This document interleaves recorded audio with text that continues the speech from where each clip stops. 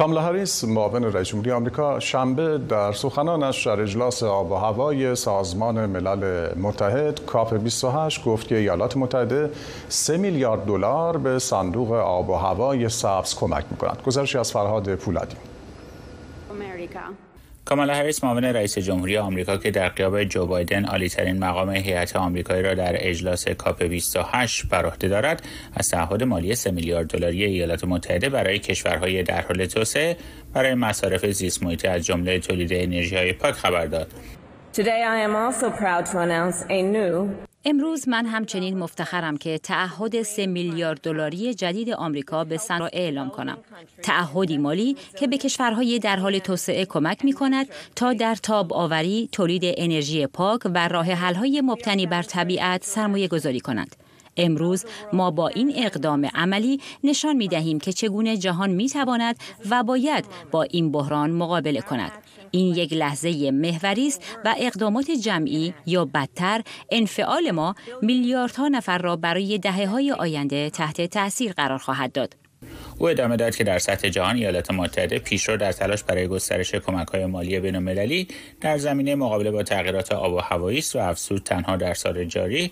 ما کمک های خود را تا سقف 9.5 میلیارد دلار افزایش دادیم که ما را در مسیر رسیدن به هدف جاه طلبانه 11 میلیارد دلاری رئیس جمهوری بایدن تا سال 2024 قرار می دهد. این هدف اما با توجه به اکثریت جمهوری خواه در مجلس نمایندگان که مخالفین سرسخت برنامه های زیسماتی جو بایدن هستند محتملا محقق نخواهد شد. با این حال خانم هریس بر تعهد دولت جو بایدن بر دستیابی به محدود کردن گرمایش زمین به یک و درجه سلسیوس تاکید کرد. او اما هشداری هم برای شرکت ها و مقامات دولتی که تغییرات آب و هوایی را منکر می شوند و یا با اجرای برنامه های موسوم به سبزشویی تلاش برای منحرف کردن مردم از واقعیت دارند داشت.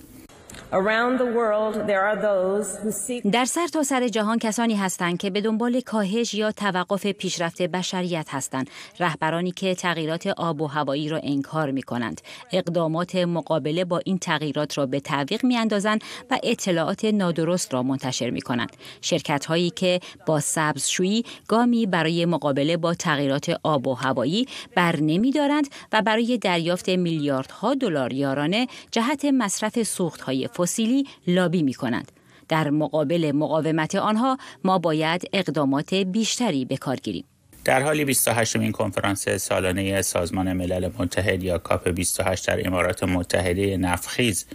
با حضور 150 رئیس جمهوری نخست وزیر شاه و شاهزاده برگزار می شود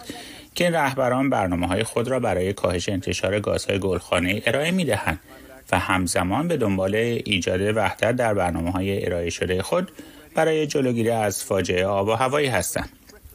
علاوه بر قیاب جو بایدن، شی جینگ پینگ رئیس جمهوری جمهوری خلق چین که به همراه ایالات متحده دو کشور بزرگ آلوده کننده مشتقات گاز کربن و مسئول بیش از 44 درصد از انتشار گازهای گلخانه‌ای در جهان هستند نیز شخصا حضور ندارد. اما این دو رهبر در دیدار حضوری که ماه گذشته در کالیفرنیا انجام دادند متحد شدند که انتشار گاز متان از عوامل اصلی افزایش غلظت گازهای گلخانه‌ای را در جو زمین و به تبع آن گرمایش جهانی را کاهش دهند. فرهاد پولادی صدا آمریکا